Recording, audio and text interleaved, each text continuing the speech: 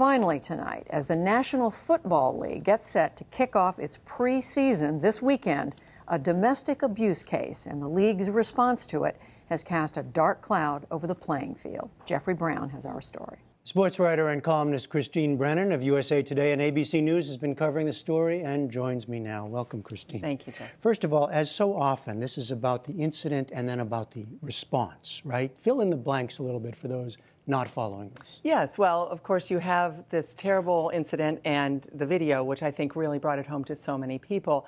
Ray Rice, the star running back for the Baltimore Ravens, and then the announcement of the suspension, two games, a two game suspension. There have been was a five game suspension once for a player for stomping on someone.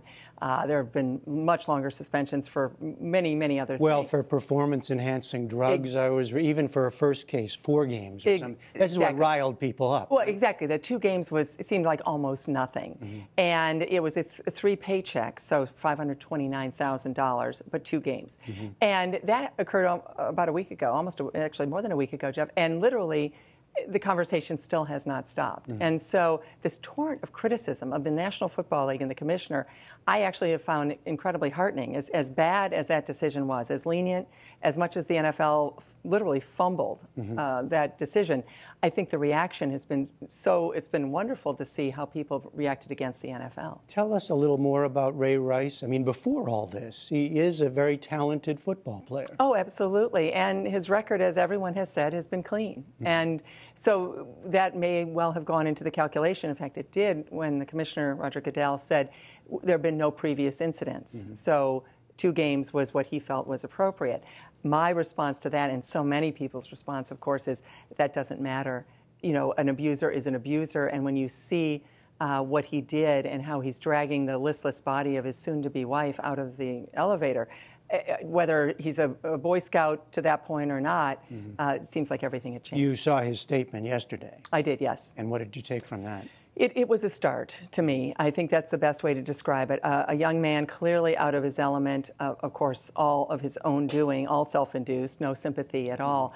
But uh, what I would have liked to see is much more of a concrete statement of specifically what he wants to do money, time, donations, mm-hmm. looking right in the, uh, in the camera, Jeff, and saying to, to uh, men like him who've abused women that we've got to stop this. Obviously, he wasn't up to that let's hope that he can start mm-hmm. to take ownership of this and lead the way as the NFL hopefully does a lot more on this issue. This, of course, is a very violent sport, and it's had a lot of different incidents along the through the years. Do you see this as fitting into some larger problem for the sport, or not? For the sport not knowing quite how to deal with responding to something like this? You know, I actually think, yes, the violence is there, but it seems to me the NFL, being the biggest league in our country, the most popular by far, long since blew by baseball on that, that this is their opportunity to be a leader in this. They have so many young men, obviously, uh, in the league, and why not look at this as the opening to putting its considerable might and efforts behind a cause that is so important, an issue that is so important in this country. So I actually look at it as an opportunity. if, if people said, oh, it's a violent sport, well, that's an excuse, of course. And uh, I think the NFL should be beyond allowing those kinds of excuses to exist. And let me ask you briefly I mean, as you said, it is the most popular sport. The season's going to start pretty soon. Do fans care? I mean, is the league looking at this as potentially damaging? I have never seen a reaction to something go on this long uh, and be this strong. And, and I, think that's great in the sense that I think the decision was wrong. So it will carry over certainly into uh, games where the Ravens are playing on the road. I'm sure that Ray Rice is going to hear.